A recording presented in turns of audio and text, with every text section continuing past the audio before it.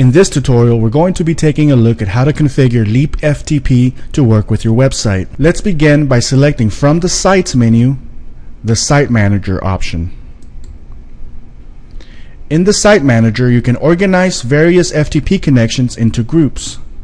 You can create a group by selecting Site, New, Group, and providing a name for that group, such as Personal.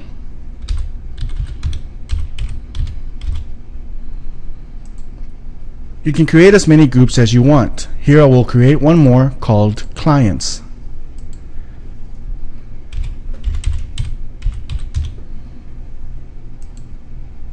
Now let's take a look at how to set up an actual connection. I will begin by selecting the personal group and then selecting from the site menu new site.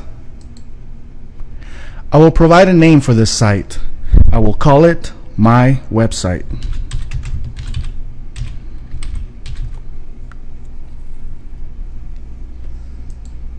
I now have the option to provide the details for this connection. Under the address field, I will type in the URL to my FTP server.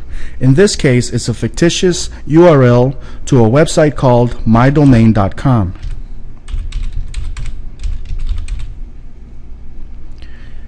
If your FTP server uses a port number other than 21, feel free to modify this number to reflect that port number. Next, I will remove the anonymous logon option and enable the fields for username and password. Here I will type in my username and password.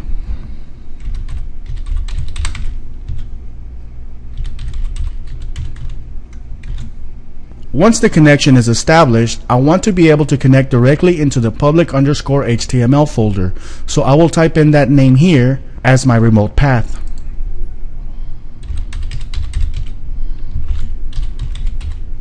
And for local path, I'm going to point the system to a folder on my desktop labeled my website.